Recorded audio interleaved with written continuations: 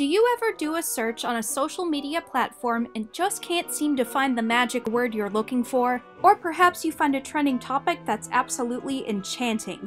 There's a tool that social media professionals use to get your attention.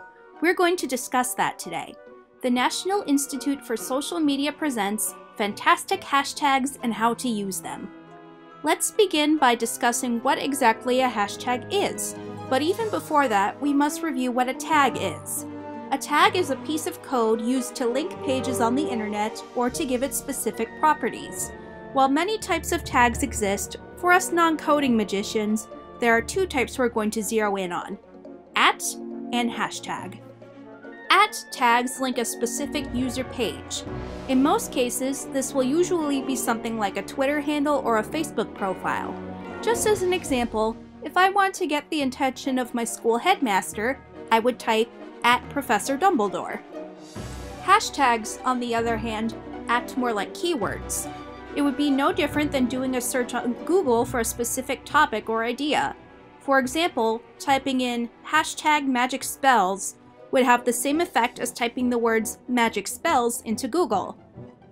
It's important to remember, however, that social media platforms are not search engines.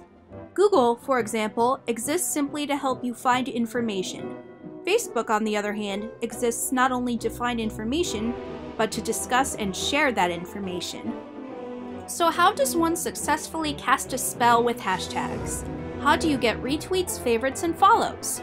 There are two keys to successful hashtags, memorability and specificity. As an example, let's go into Twitter and search for hashtag Quidditch. While Quidditch is indeed a topic, this hashtag by itself will give you thousands upon thousands of results, which may not necessarily be the ones you want. The reason this tag doesn't work well is because hashtag Quidditch could mean any number of things.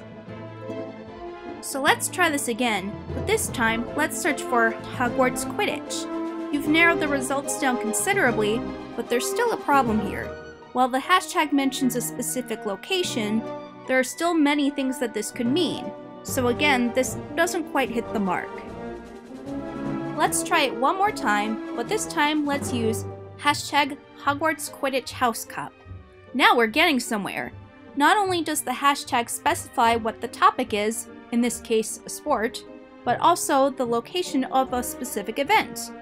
While this example is fictional, it details a specific event, a specific place, and has viral potential. There are many ways you can use a hashtag to charm your audiences. It could be anything from advertising a specific product to using a company slogan or catchphrase to starting a conversation with users. Hashtags are a great way to help social media users find your brand, your event, or your product and what it has to offer. That's all for today. Check out the National Institute for Social Media for more great topics on how you can use the internet to your company's advantage.